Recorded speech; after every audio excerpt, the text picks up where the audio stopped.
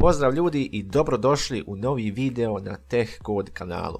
Evo jednog dobro poznatog naslova videa kakvog smo imali na kanalu već par puta, a razlog je taj što ste nedavno ponovo pitali za isti. Dakle, kako rutovati telefon.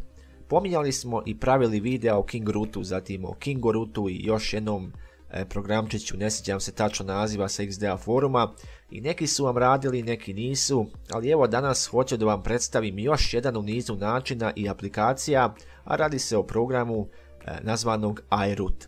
Dakle, ista namjena kao i KingRoot, imate dostupnu i PC i Android verziju i na vama je da samo odaberete jednu. Ako se odlučite za PC verziju, imajte u vidu da telefon koji budete htjeli rutovati mora imati adekvatne i ispravno instalirane drajvere kako bi ga vaš PC, odnosno program prepoznao. Kao i King Root, ovaj program je kineske proizvodnje, tako da očekujte vidjeti tu i tamo par kineskih rečenica i slova jer prevod nije kvalitetno urađen.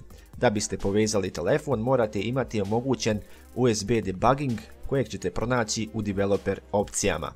Imajte još također u vidu da će iRoot instalirati i dodatni software koji se sastoji iz cleanera i screen lockera kojeg možete kasnije jednostavno izbrisati. Elem, zašto iRoot? Pa jednostavno iz razloga ako vam ponestane opcija sa ostalim softverima i programima koje sam već navodio na kanalu, možete probati i sa ovim. Ovo svakako da nije najbolji od njih i da nije baš user friendly, ali kao što rekoh, ako ponestane opcija i sreće, probajte i ovo. I nemojte misliti da ćete moći svaki telefon rutovati i svaki Android jer sve zavisi da li je ta root strategija razvijena i dostupna za vaš model smartfona i Androida. Dakle, komentari tipa imam ovaj telefon, meni ne radi, zašto, su upravo dobili svoj odgovor i ne mislim ga ponavljati pa ni putem komentara. E, mislim, nemojte me pogrešno shvatiti, ja želim pomoći svima, ali toliko sam trubio i pravio video o rutovanju uopšteno, a očigledno nekima je mrsko pogledati i poslušati do kraja.